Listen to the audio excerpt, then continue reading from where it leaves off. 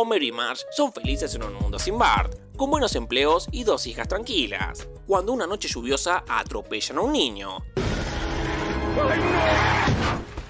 Era Bart, pero no recuerda quiénes son sus padres. Homer y Marge se lo quedan por un tiempo, pero es muy revoltoso y no le cae bien a Marge. Solo es un niño necesitado, pero no me agrada. Pero durante una broma en el nuevo trabajo, Bart hace reír a la gente del estadio más de lo habitual. ¿Pero qué has hecho? Y por favor, haz más. Y de a poco se dan cuenta que no es tan mal niño. Incluso mejoró el cuento que a Maggie no le gustaba. Pero el jefe Gorgory llega para llevárselo a un orfanato de máxima seguridad. Se arrepienten y lo persiguen, pero no lo alcanzan. En ese momento despiertan. Todo había sido un sueño compartido. Corriendo para abrazar a Bart, diciéndole que se dieron cuenta que sí lo quieren. Esperen, ¿cómo que ya se dieron cuenta?